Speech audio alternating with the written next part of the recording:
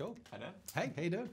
Really enjoyed the presentation yesterday. Thank you. Um, coming as a, so I guess I'll, I'll explain a bit. Um, I'm not a journalist. Mhm. Don't usually do interviews, and um, I'm a content creator now. Yep. Except I actually I studied engineering. I have a bachelor's in engineering, so Mhm. I'm I'm all into the tech behind things. Yep. And now I've kind of been thrown into this world of content production and media and video editing and and whatnot. Mhm. So it was really was really cool hearing uh, your presentation yesterday, explaining the the more nitty gritty about how these projects actually come to life because it's it's amazing like how far technology has come now and the, the line between reality and fiction is being blurred constantly and It it's, is. it's just it's just amazing. Um, so i guess uh, my first question would be what's your favorite part of working on a project like this being able to uh, tell a story and have access to these tools to be able to really do whatever you want kind of Yeah, I mean, I, I think the end goal is, is the favourite bit. You know, like Yeah. I, I, you know, like when I made my own little films, you know, I was I was driven by the idea that I wanted to, you know, I wanted to tell a little story, and so so getting there, you know, uh, the idea of getting there always kept me going, you know, and so it's amazing to be a part of these, you know, these these these bigger, you know, these bigger productions, films Yeah. that have been written by professionals and you know played by professionals, and uh, it's it's fantastic to be a part of that, you know. So I think I, I think. I love animating. I just love it, you know. Yeah. But but for me, the the real the joy of, of animation is when someone else sees it. You know, when someone else sees what you've managed to Yeah. do. that's so what it's all about that's what it's about, you know, and that's what drives you on. So I guess you know, finishing it is my favourite part, you know. um, but that's only because other people get to see it, not so much that it means I don't have to do it anymore. yeah Hmm. So can you tell us what's your next project? Or I actually don't know. I don't know what my next project is. No, I, I'm not sure. I'm taking a little bit of a break. You know, but I'm Good. not. I'm you know I'm still at work, but Yeah. uh, but I'm kind of dialing it back a wee bit. You know, these things can you know it can take a wee bit out of you, and it's nice if you don't sort of roll directly into the next thing. So exactly. there are things on the horizon, and we'll just see. Uh, you know where people want to deploy me.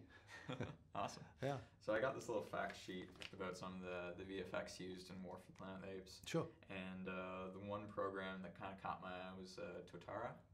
Yeah. Can you tell me a bit about I that? can't really tell you too much No? about that. No, I can't. No, it's probably um, it's probably more of a um. I mean, I, I know what it does, but uh, but I but I shouldn't really go in depth on that. You know, it's probably a Dan or a Joe thing. I think. Um, but um, you know, certainly I, I know that it's a tool that saves us a lot of work because um, you know we used to do that manually. You know, so Yeah. uh, yeah, it's, that, it's a tool that makes me happy, but not one I should really talk about. Yeah. Yeah. so how did you get your start?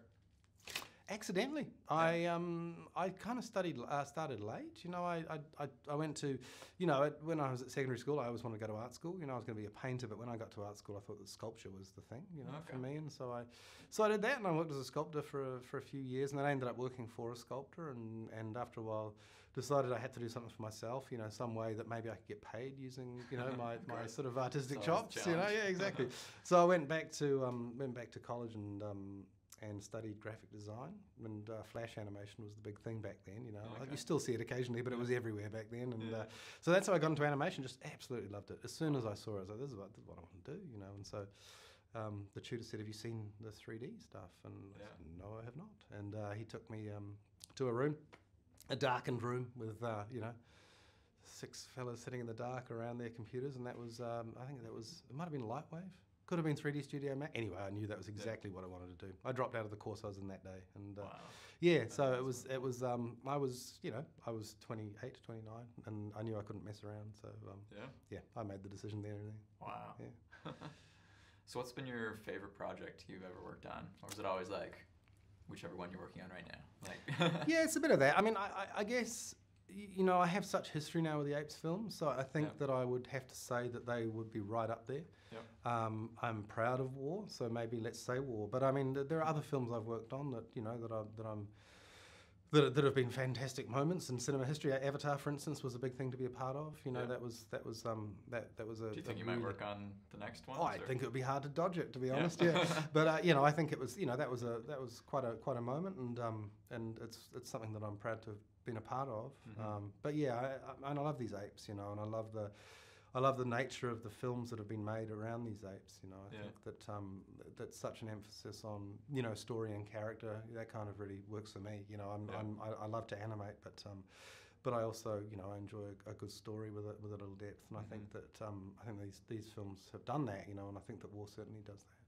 So now as a supervisor, how much, how much do you get your hands dirty still with the actual animating, or are you more? No, not at all. Well that's not true. Beginning and the end. Yeah. You know, at the beginning, there's testing to be done, especially face rigs. You know, Yep. and so I like to get my, my hands dirty with the rigs. It, it, I think for a supervisor, you need to be pretty au fait with the rigs if you're going to Mhm. give notes. So, um, and, and you're also working with the modelers who are building these incredible rigs, and so um, it's it's a bit of a two way process. So in there, and then and then I was at the end when it, when you know, most of the teams left, and it's kind of you left there holding the baby, you know, and uh, um, there, there's always a few of us left at the end, kind of. So it, it tends to be more clean up for me then. But Yeah. um, yeah, I don't. I don't. I, I call myself an animator still. You know, Okay. I, I still do. That's but awesome. um, but it, there's not. I don't do a huge amount of it. One day, one Yeah. day. Yeah, yeah. yeah, it was really neat yesterday getting to play with the, the face rigs Mhm. and the cam and the whole the whole nine yards. Yeah, yeah. Um, just amazing how far the software's come. Mhm. Like all the different, um, I forget the term for them. The um, the points that you can change. The, Right, The yeah, properties yeah, basically yep. that you've assigned to the face, Mhm. and then it's just. It's literally a matter of going frame by frame and like Yep. matching it up with. Yep. It really is. Yeah, there's no quick way really No. of doing it. You know, I mean, we have we've got amazing tools, and you know, things have certainly sped up for us over over the years in terms of interactivity in the within our 3D scenes. You know, so Yeah. it's it's it's quicker to do it, but um, but there's no quick way of doing it really. You know, No. there's a lot of poring over reference and and a lot of um, you know kind of careful reconstruction of of um, performances. Yeah. Mm. I know the other Dan was telling me if you were to take a really powerful computer to render the entire movie, you would have had to start back when the Egyptians were around. It's like- something like that. It's pretty scary stuff. Yeah, it's, it's yeah. amazing, and Yeah. um, as computers continue to advance, it's just Mhm. gonna start making it easy. Well, the funny thing is, they'll make doing stuff like this easier, but we're always gonna be pushing the envelope and going even farther. Yeah. So it's like, when are we gonna hit that point where like, all right, this is the best it can ever be? I Like, know. I- now the computers can become this much powerful, and it's it's easy now to Yeah. make a movie like that. yeah. So it'd be really interesting when that moment happens. It will be, but yeah, I'm, I'm, I'm yet to see it. You know, like Yeah. as you say, every year we get given a, a new box that's you know got these fantastic new specs on it, and then we end up you know just just upping the tech and upping the kind of expectations of that box. You know, Mhm. so um, I mean we, we have actually you know to be fair, we've made some huge strides. You know, with, with speed on, on on our puppets and things, and so it's definitely been you know over the last couple of years, it's been a happy time for the animators. You know, Yeah. um, because you know interactivity is everything for an animator. You don't no, no one frame means anything unless you see it in relation to the surrounding frames. So, so you need to be able to um, you know scrub through a scene and see Mhm. see what the motion looks like. So yeah, I know even with my videos sometimes like my computer just lags. I'm Yeah. just editing Oh, normal just- footage, yeah. let alone trying to render Yeah. something or Yeah. adding effects and Yeah. whatnot. That's how you know how frustrating it's- Yeah. yeah, yeah. Actually, I, I dabbled in rotoscoping about Right. 10 years ago. Yeah. I did a, a short uh, lightsaber test scene. Ah, cool. This is a very classic classic thing to try out. But um, kind of shot myself in the foot. I filmed like five minutes Right. for some reason Yeah. me waving around Yeah. a lightsaber stick when I, I could have done like 30 seconds Right. the same result. Yeah. But like I got into it, I'm like, oh, might as well finish the whole scene. and um, yeah, that, Yeah. that was what introduced me first to keyframes and like Right. Yeah. um, the editing software and how it can like interpret in between. Mhm. I, I thought that was really neat. Yeah. How you can say, okay, at frame one this happens, at frame thirty this happens, Mhm. And if it's a linear speed in between the two, Yeah. the computer does the work for you. Yep. And I thought that was Yep. really cool, and seeing that again with the the um, face rigs yesterday, same idea, just. Mm-hmm. Yeah. a Hundred times more complex. Yeah, yeah. No, it's absolutely the way it works. I mean, I guess that, you know, certainly when you're blocking a shot, you can lay key poses and, and you'll and you'll get interpolation between those. But ultimately, on most, you know, most animation scenes you look at, there'll be a key on every frame. You know, Yeah. or at least just something, you know, keyed on every frame. The facial stuff, um, it, it tends to happen. You know, like you you, you kind of you have to remove that computer interpolation from it as much as you can. So Mhm. it, it's, there's a lot of uh, a lot of hand keying. Mm. Uh, what do you think about VR and the, the future implications of that with terrified. movies? Yeah. terrified.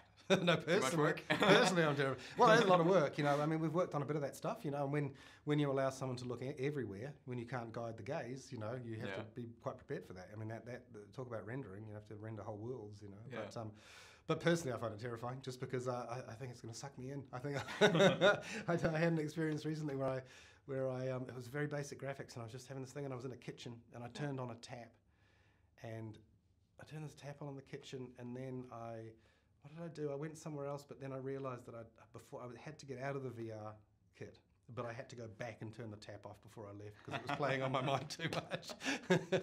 so yeah, I think my awesome. mind is kind of susceptible to that sort of thing. Yeah.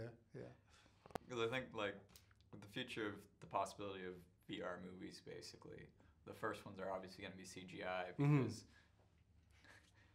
traditional movies you can hide everything in cuts between Yeah. scenes. Yeah. But no longer would you be able to do that in Yeah. VR. yeah. Um, otherwise, you'd have a it would be a more cheaper feel where it's just Mhm. like, oh, now you're over here watching this scene. Yeah, Um, and for the actors to, you'd have to do basically a one take yeah, yeah. with however many cameras Mhm. in that room. But Mhm. whereas CGI, you can render it from any direction Yeah, you it's want. much easier to and, do that. Um, yeah, yeah. The, the, the, the, obviously the disadvantage is you don't have a world pre-built for you to put your cameras in. You know, and so when you when you have to do the whole lot, you know, it's uh, it, it becomes pretty onerous.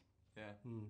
Do you think there's any possibility the Avatar movies might be heading that way? I'm not sure. I don't know what his plans. are. I mean, like, I mean, I think you know Jim Cameron traditionally has been someone who, who likes to you know he Push likes to push the envelope. Absolutely, you know, it's one of the things we all love about him, isn't it? Yeah. Um, so, but I, yeah, I don't, I don't know his plans. It's sort of, um, you know, it's rumbling away, but um, yeah, I'm not sure, uh, you know, what's what's going to happen there. Yeah. Mm. So it's funny actually. Uh, before I quit my job to do YouTube full time, I was actually a product developer at Christie Digital, Mhm. which is one of the, the really big uh, projector companies. Mhm.